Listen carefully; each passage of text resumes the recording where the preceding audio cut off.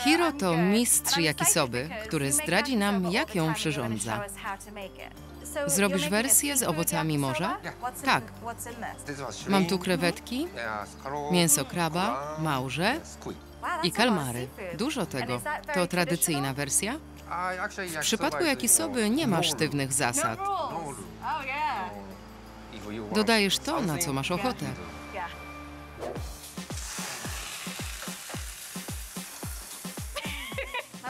Nieźle buchnęło. Warzywa? Widzę kapustę, paprykę, groszek cukrowy i makaron. Czy to makaron soba? Coś w tym stylu. Soba jest z gryki, a ten z pszenicy. Jeżeli pomyśleliście teraz, że facet nie ma nawet pojęcia, co to jest soba, jesteście w błędzie. W słowie jakisoba, człon soba oznacza po prostu makaron, niekoniecznie z gryki.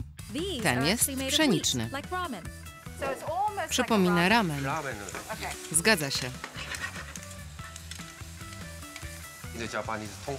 Sos tonkatsu ma smak słodko-kwaśny i pikantny.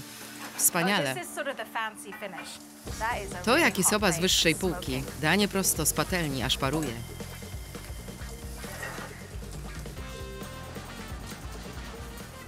Dlaczego dodajesz jajko? Nada więcej smaku.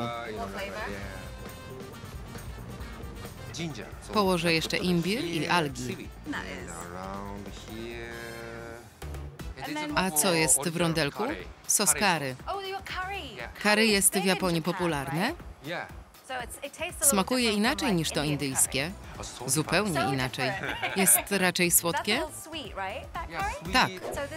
Oto yakisoba curry.